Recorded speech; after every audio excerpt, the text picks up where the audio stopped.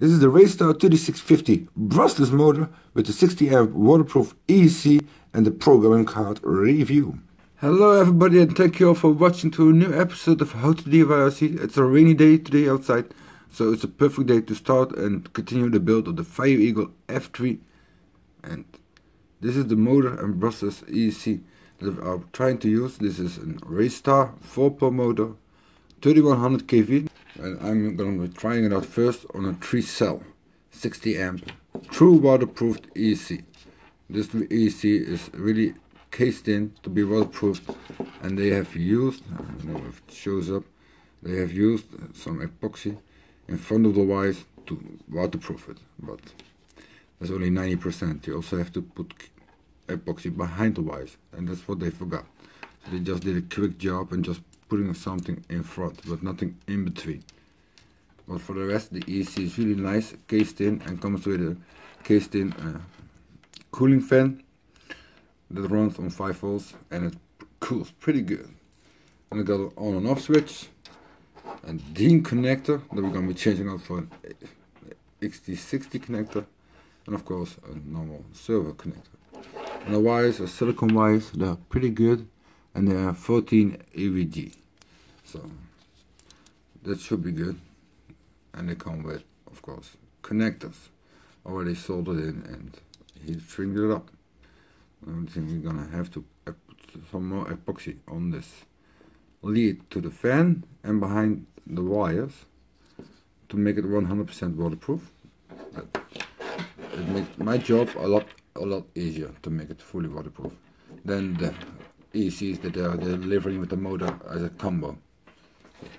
But an 80 amp 4 cell EC is coming up because this one's only 2, 3 cell and the BEC is 5.8 volts 3 amps.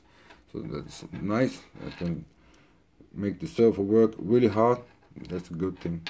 Now going over the weight of the motor this is 182 grams and the EC is 83 grams and together it's an electronic setup of 265 grams but to make that EC program you need a program card because there's no programming button on the EC and with the programming button you got a low voltage cutoff that is a bit on the low side 2.7 to 2.1 and I would like prefer 3.5 actually but 3.3 as a minimum would be a lot better.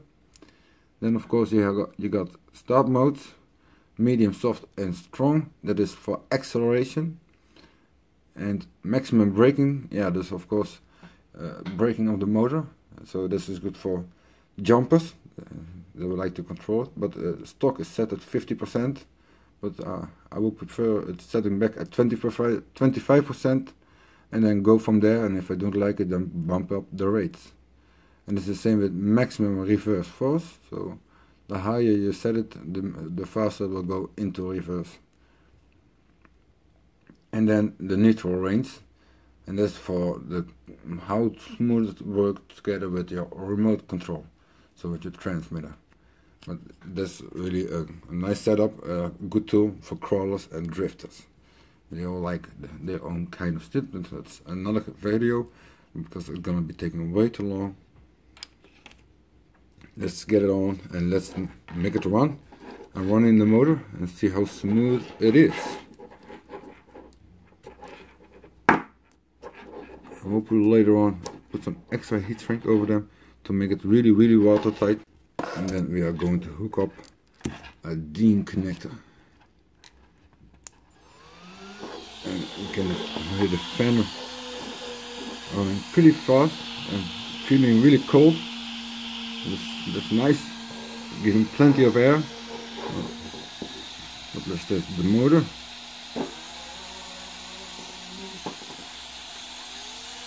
You, you almost feel no vibration. It's super smooth. Good throttle control. And now it turns in reverse.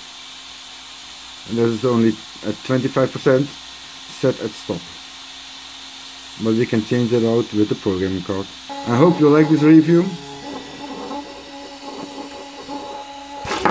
so let's kill this mouse After all, the only downside wires of the motor. that you see is pretty good, except for the extra little bit of epoxy that we need. But overall, it's worth the money, and I'm gonna be trying it out in our Fire Eagle desert truck. We need a test run. That will be up in the next video, and the way to install it because there's a 12 scale truck, and these are meant for a 10 scale truck. So this motor is a little bit oversized for my little truck, but we're gonna try it anyways. It's still built from a high quality with low vibrations. I'm really liking it. You will be finding all the details down below in the description. There was another episode of How to DIY RC. I hope you give this video a lot of likes. And if you didn't, then give it a thumbs down. Subscribe for the test run video that will be coming out very soon. And where we're going more into depth into the programming card and how to set it up for crawlers, drifters and off the road. And I want to say you go outside, have some fun and goodbye. Until next time.